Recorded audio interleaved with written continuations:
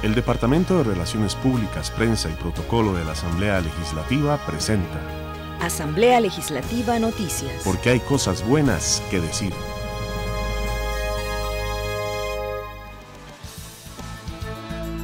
Diputados avalarían vía rápida a contención del gasto, pero no para impuestos. Eliminan transitorio que permitía despidos en el MOB. Ministerio de Hacienda y UCAEP defendieron sus posiciones sobre fraude fiscal ante diputados y proponen a diputados implementar la industrialización del cannabis. Vamos al detalle de las informaciones. Las posiciones sobre la necesidad de aprobar nuevos impuestos y además tramitarlos por la vía rápida son diversas entre los diputados. Mientras el oficialismo urge de ellos, los opositores al gobierno prefieren esperar. El Partido Unidad y el Movimiento Libertario dicen sí a la vía rápida, pero para aprobar los proyectos de contención del gasto, repuntar la economía y la eficiencia en la recolección de impuestos, Así lo dieron a conocer los jefes de ambas bancadas, Johnny Leiva y Otto Guevara. No podemos poner por delante la carreta, por delante de los bueyes. Nosotros primero necesitamos comenzar a este, buscar la reducción en el gasto del Estado. Nosotros estamos de acuerdo en vía rápida, pero para aprobar los proyectos que van a contener el gasto. Estamos de acuerdo en vía rápida para aprobar los proyectos que van a estimular el crecimiento económico.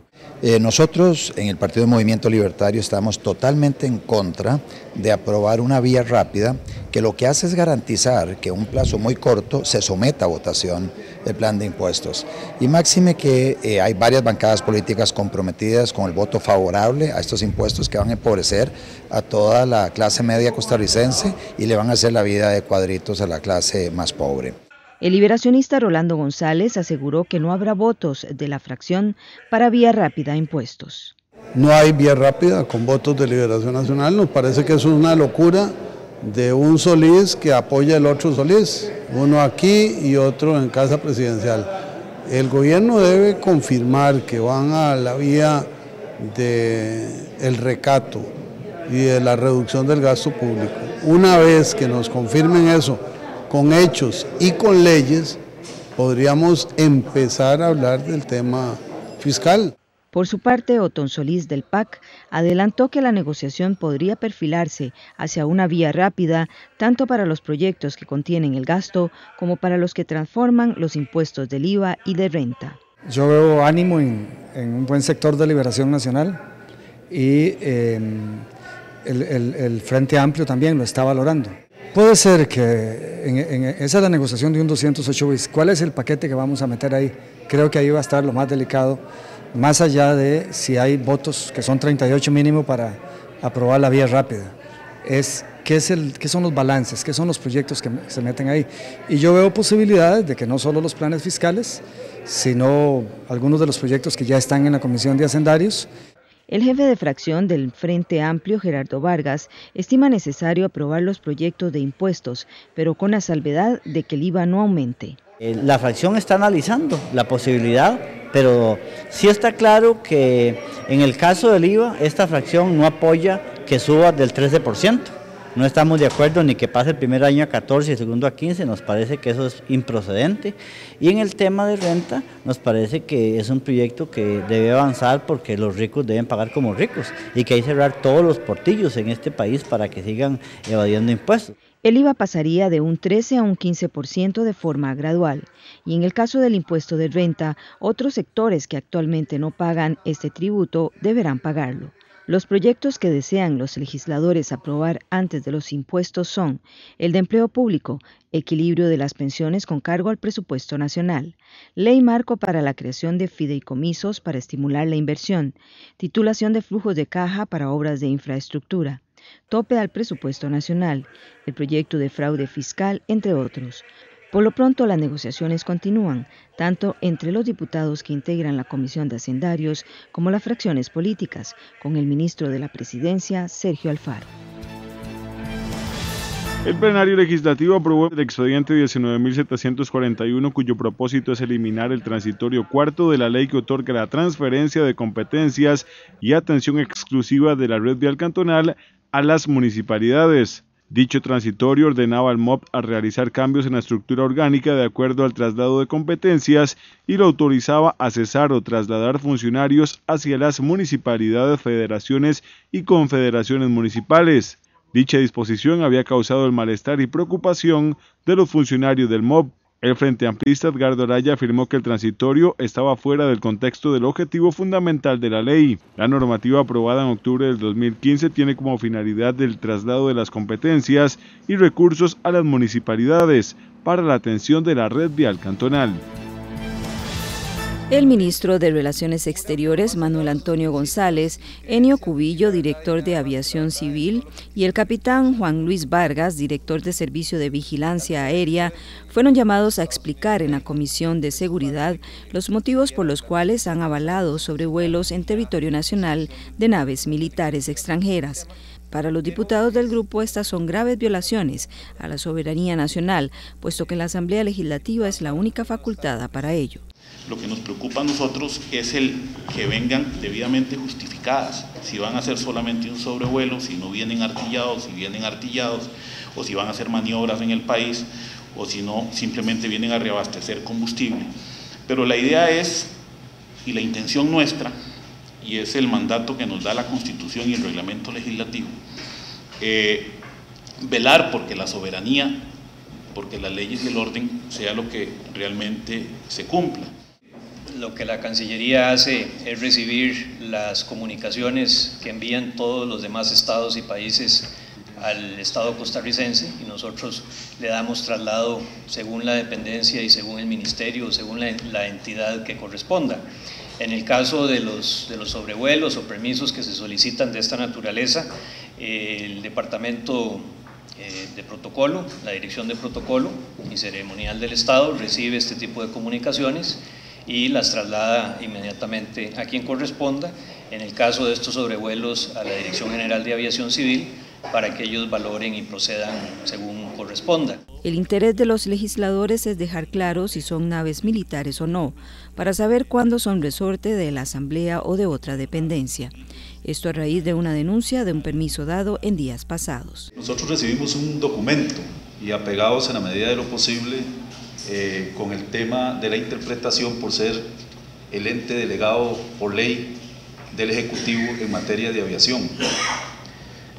Me permito nada más eh, indicar que con el tema que ya eh, está en, en, este momento sobre la mesa, que el Departamento de Defensa de la Oficina de Defensa de los Estados Unidos, en nombre del comandante de guardacosta de los Estados Unidos, Brady Downs, lo que nos dice es, y acompaña la solicitud de la siguiente manera, eh, la cual este, al señor diputado Francisco le hicimos llegar, si no me equivoco, están los archivos de los que nos solicitó, donde nos dice eh, que esta aeronave no está artillada y está operando en colaboración del Tratado Marítimo Bilateral. Nos dice eh, las descripciones de las aeronaves y nos dice que esta operación es colaboración con el Tratado Marítimo Bilateral en territorio costarricense con fines pacíficos. Según el director de Aviación Civil, la aeronave norteamericana no artillada únicamente requirió abastecerse de combustible, por lo cual no hubo necesidad de solicitar permiso al Congreso. Representantes del Ministerio de Hacienda y de la UCAEP fueron escuchados por los legisladores de la Comisión de Hacendarios sobre el expediente 19.245 lucha contra el fraude fiscal. Hacienda y UCAEP tienen entre la espada y la pared a los diputados con respecto al artículo relacionado con el registro de accionistas. Este permitiría tributación directa a conocer el nombre de todos los accionistas de las empresas o figuras comerciales. En el ministerio aseguran que el tema es requisito para ingresar a la OCDE, mientras los representantes de la empresa privada afirman que dicho organismo no lo solicita y desconfían que la fuga de información pueda darse. Costa Rica le están pidiendo desde la comunidad internacional que avance en la identificación efectiva de las personas que están detrás de las entidades jurídicas que se crean en este país. ¿Por qué? Porque durante mucho tiempo nos convertimos en una fábrica de sociedades anónimas, de sociedades de papel, que se utilizaban para evadir recursos, este, para evadir impuestos, que se utilizaban para lavar dinero en los mercados internacionales. El mejor ejemplo de esto fue el caso Falciani que se hizo público el año pasado de este informático que se robó la base de datos del banco HSBC en Suiza y de la cual Costa Rica parecía incluida. Eh, creemos que la mayoría del proyecto está bien, excepto este tema del registro de accionistas, donde no creemos que sea necesario. El Ministerio de Hacienda lo introdujo como una exigencia de la OSD y hemos demostrado que no es una exigencia de la OSD, que fue un ofrecimiento del Ministerio de Hacienda que va mucho más allá de lo que lo pide la OCDE y que no es necesario para combatir el fraude fiscal, que Hacienda tiene herramientas para poderlo hacer, que puede haber algunas mejoras que se le pueden introducir a el tema del registro de accionistas, pero que este esté en manos del Ministerio de Hacienda no estamos de acuerdo. Creemos que debe seguir estando en manos de las empresas con algunas mejoras en cuanto a sanciones, en cuanto a potestades que tiene Hacienda para poder pedir esa información con una mayor accesibilidad. El liberacionista Rolando González cuestionó. ¿Es un requisito de OCDE sí o no incluir el registro de accionistas en este proyecto de ley? Requisito como tal específico no. Si no se incluye este requisito para UCAEP, ¿cuál es la alternativa? y para el Ministerio de Hacienda, ¿cuál es la alternativa?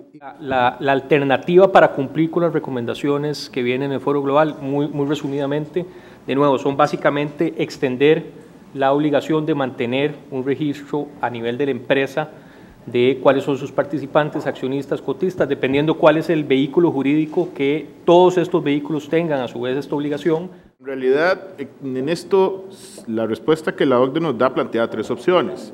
Nosotros hemos descartado la primera, que es la información en poder de las empresas, porque eso es precisamente lo que tenemos ahora y no está funcionando. Las otras dos opciones es crear un registro público, que al Ministerio de Hacienda no le interesa exponer esa información, y la otra es que a través de declaraciones, pueden ser de impuestos o inclusive eh, algún tipo de declaración adicional, la información se le entrega a la Administración Tributaria.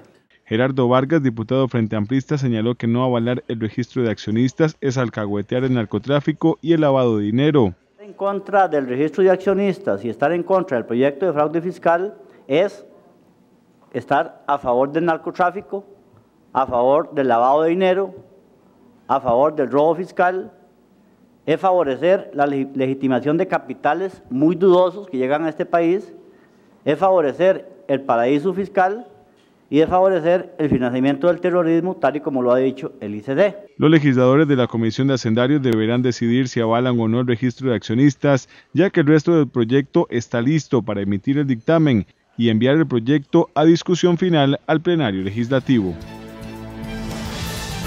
La Comisión de Asuntos Jurídicos recibió ayer al Murray, representante de cannabis medicinal en Costa Rica, quien propone implementar la industria de dicha planta. Murray sugiere la creación de una Cámara de Horticultores que regule la producción del cannabis, además de un instituto que permita el estudio medicinal para otras enfermedades que no son valoradas en el proyecto que se tramita en la Asamblea Legislativa. Asegura que el país podría recibir ganancias de hasta mil millones de dólares. Edgardo Araya, diputado frente amplista, mostró preocupación por los métodos que Murray adujo se utilizarían para la fiscalización de la producción de esta planta. El proponente del tema, Marvin Atencio, aseguró que la propuesta de Murray incluye otras regulaciones que no están contempladas en su proyecto, por lo que deben ser analizadas. El diputado Atencio defiende que su propuesta es para permitir el uso comercial y medicinal, dejando prohibido el uso recreativo. El Departamento de Relaciones Públicas, Prensa y Protocolo de la Asamblea Legislativa presentó Asamblea Legislativa Noticias. Porque hay cosas buenas que decir. Si tiene alguna consulta sobre el Congreso, puede visitar el portal legislativo www.asamblea.go.cr. Además, puede seguir las transmisiones del plenario en dicha web a las 2 y 45 de la tarde de lunes a jueves. En Facebook somos asamblea.legislativa.costa Rica y en Twitter nos encuentra en arroba asambleacr. En YouTube somos Parlamento CR.